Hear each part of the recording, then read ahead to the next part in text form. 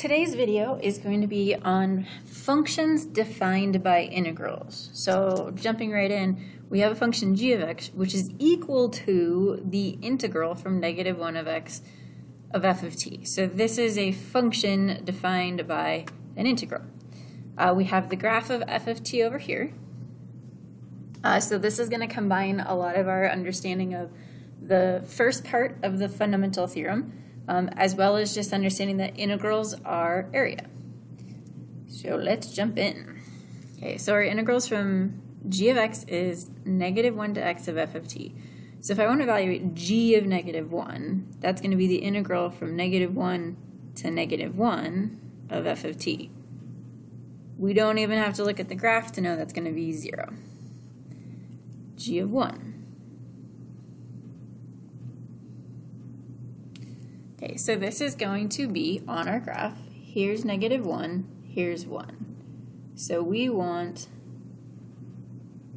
that area. Well, that's just the area of a triangle.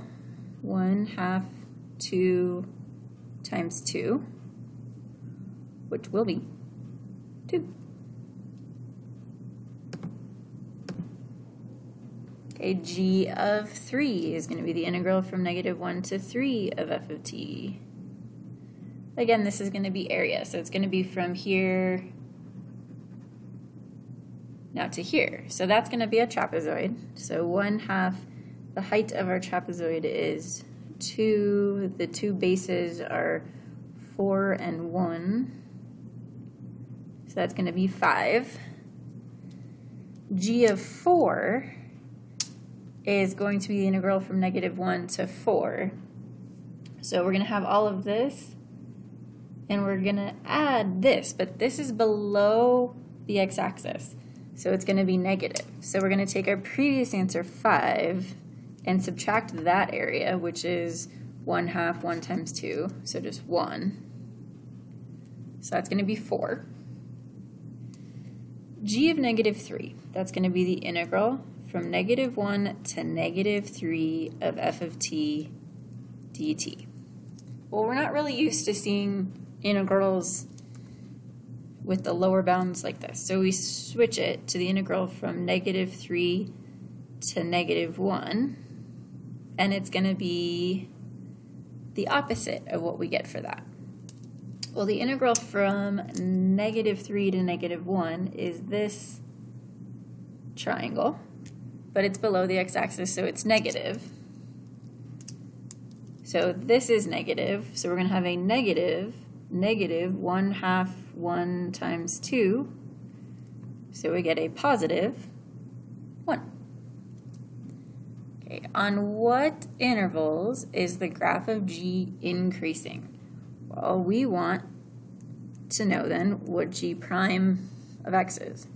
Well, using the fundamental theorem, g prime of x, if I take this derivative, is just f of x. So what we have is the graph of the derivative, which we just spent a whole lot of time analyzing. So where is this greater than 0? From negative 1 to positive 3. Now think about that. If the graph of g of x is increasing, think about this as an integral.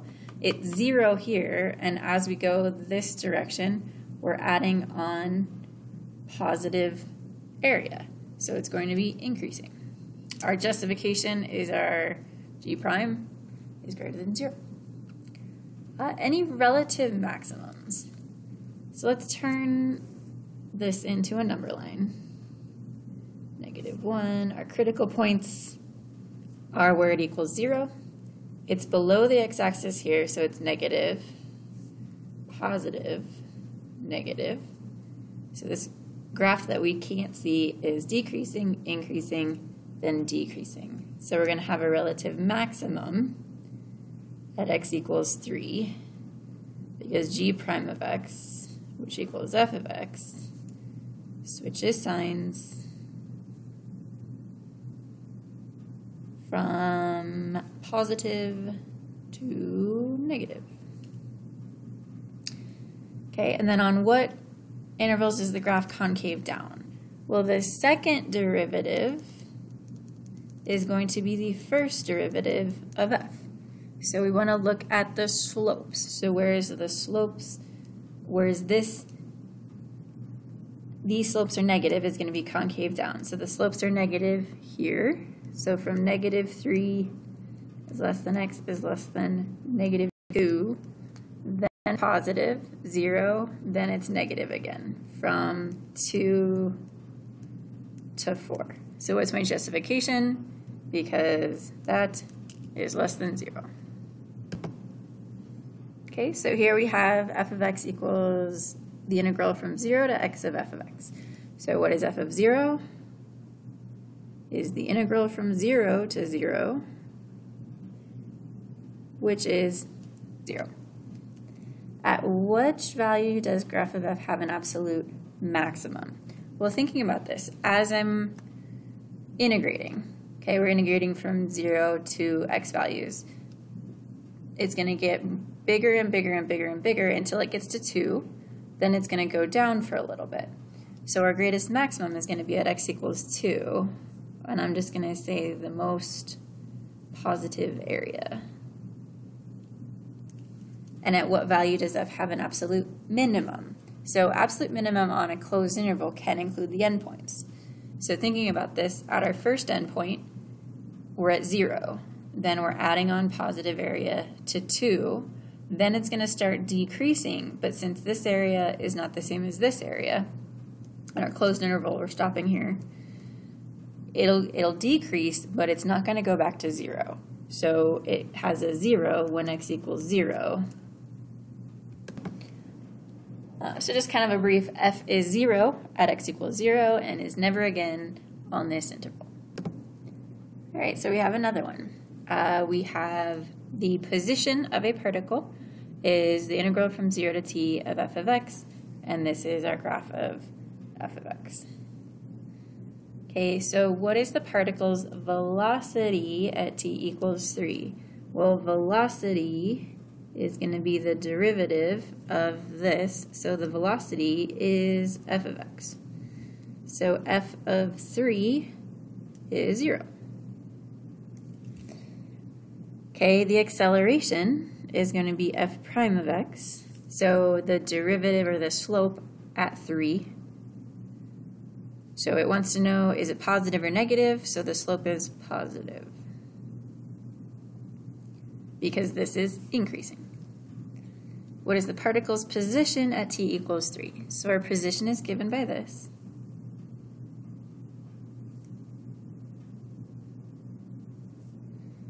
Okay, so we want the integral from 0 to 3. So it's going to be this triangle here, which is below the x-axis. So it's going to be a negative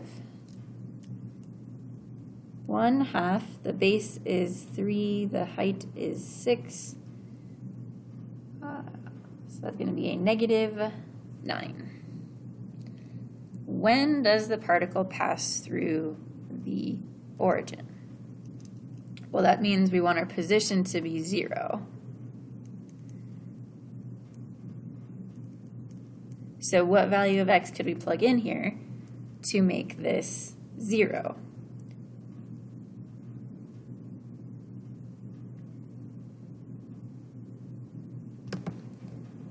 Well, the first obvious choice is when x equals zero. Okay, the other case is when our negative area equals our positive area. So that's going to be at t equals, be t, t equals 6, because that integral would also be 0. Approximately when is the acceleration 0? So we want when the, since our acceleration is our f prime, when is f prime equal to 0? Well, that's going to be at x equals, or t equals 6. 7, sorry, 7. When is the particle moving towards the origin?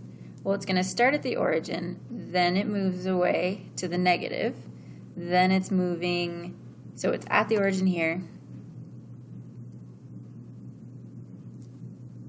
Sorry, not at the origin here. So it starts at the origin, then it goes to the negative, then at this point it turns around and it starts coming closer to zero.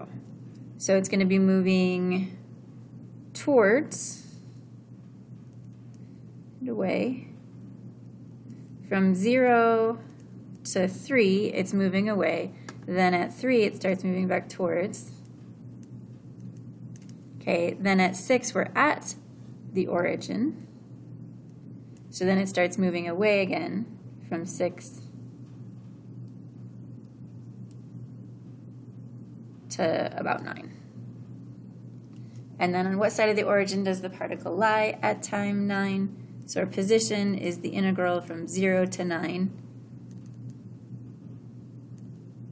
of x.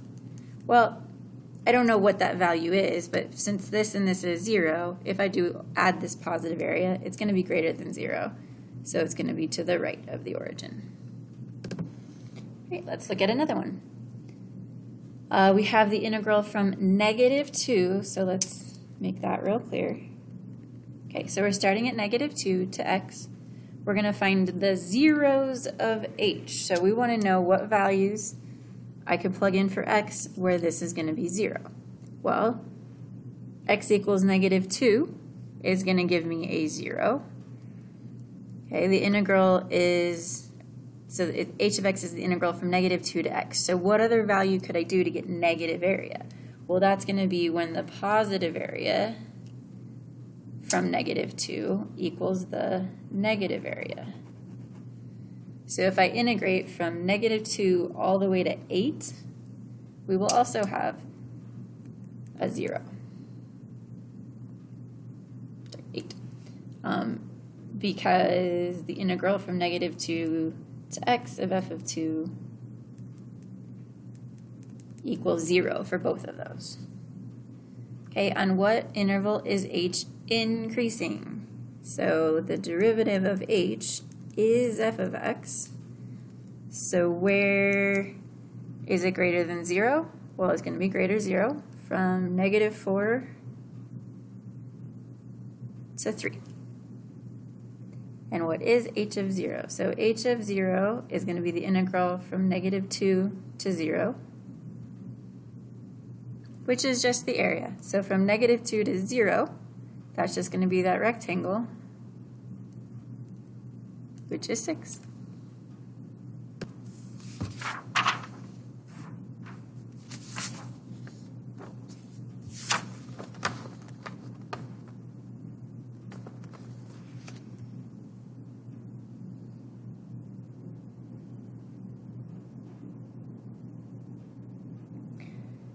Uh, so our next one is a free response question.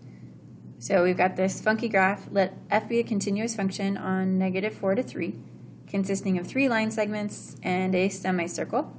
Let g be the function given by g of x equals from 1 to x of f of t. So we're going to find g of 2 and g of negative 2.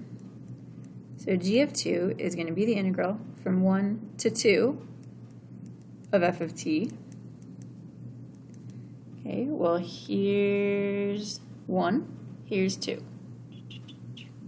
So just that little triangle there is going to be a negative 1 half 1 times 1 half, so a negative 1 fourth.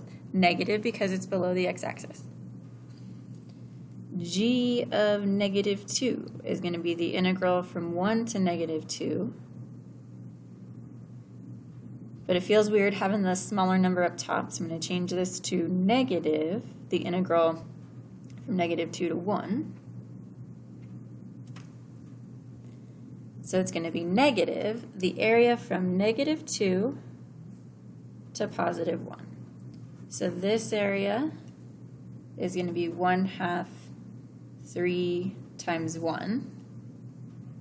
This area is going to be negative, so negative 1 half pi r, which would be 1 squared, which on a free response, you can leave your answer just like this. I'm going to clean it up a little bit for the sake of this video. But this is a correct numerical answer. All right, part B. For each of g prime of negative 3 and g double prime of negative 3, find the value or state that it does not exist. Well, g prime of x, if g of x is this, the derivative of this is f of x. So g prime of negative 3 equals f of negative 3. We go to 1 to negative 3, and that's going to be at 2. G double prime of x is going to be f prime of x. So d double prime of negative 3 is going to be f prime of negative 3. So we want the slope at negative 3. Well, this is going up 2 over 2, so that has a slope of 1. Next part says to find the x-coordinate of each point at which the graph of g has a horizontal tangent line. Uh, and then we're going to determine whether they're relative mins, maxes, or neither, and justify. Okay, well, this, we get asked the same question in a lot of different ways. Horizontal tangent line means that g prime of x equals 0 which in our case means f of x equals 0. Well, f of x equals 0 when x equals negative 1 and when x equals positive 1. Okay, so is it a relative max, min, or neither?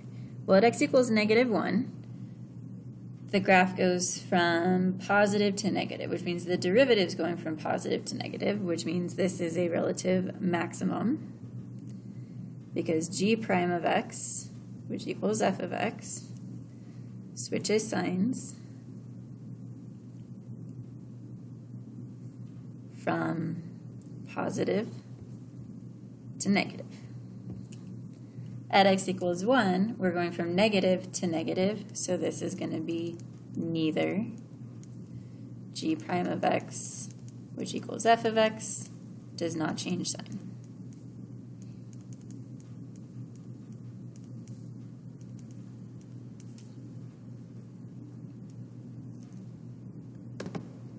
Our last question. For negative 4 is less than x is less than 3, find all values where the graph has a point of inflection. Okay, so that's going to be when g double prime of x, which equals f prime of x, changes sign. Well, f prime is the slopes, so we're looking for where it changes slopes. So at negative 2, our slope is positive, then it's negative, then it's decreasing here, then it's increasing, then it's decreasing at x equals 1. So even though if I try to take the derivative at this point, it doesn't exist, the second derivative will change signs because this part is continuous.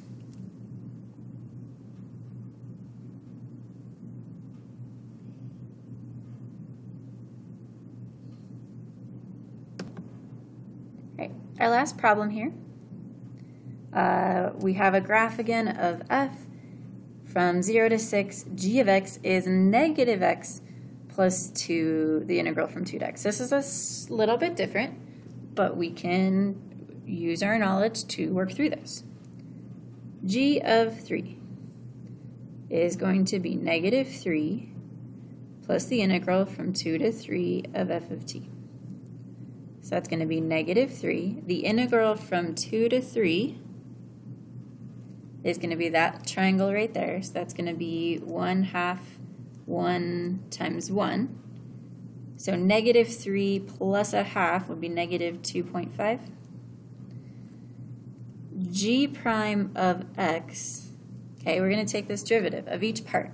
The derivative of negative x is negative 1 the derivative of this is just f of x.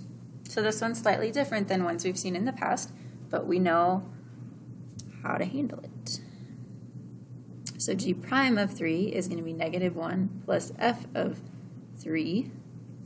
So we go to our graph, f of 3 is 1. So this will be negative 1 plus 1, which is 0. Find the x-coordinate of the three critical points of g of x on the open interval 0 to 6. Show the computation that leads to your answer.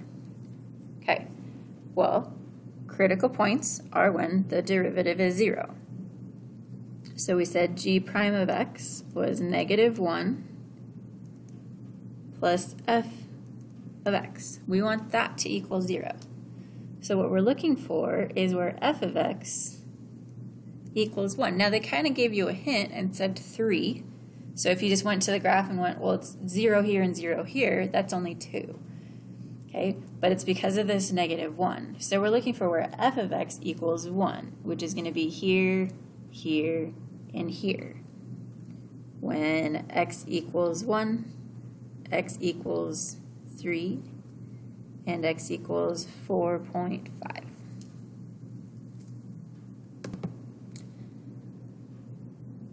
Okay, find g prime in terms of f. So we're just taking the derivative.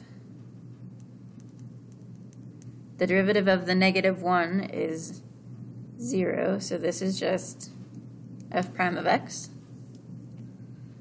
Okay, then it says for each critical point found in part B, state whether it's a relative max, relative min, or neither. Okay, so this is going to depend on the second derivative is f prime. So we're going to look at our three critical points that we found. x equals 1, x equals 3, and x equals 4.5. So we know the first derivative is 0, we can look at the second derivative then to determine if it's a max or a min. Okay, at x equals 1, our slope is negative, which means it's concave down, which means this is a maximum, because g double prime of x is less than 0. At 3, our graph is increasing, so our concavity is positive, which means it's a minimum. And then the last one is also a maximum, because g double prime of x is less than 0 because our slope is negative here. So just different ways to use integrals and all of our previous uh, graphing information.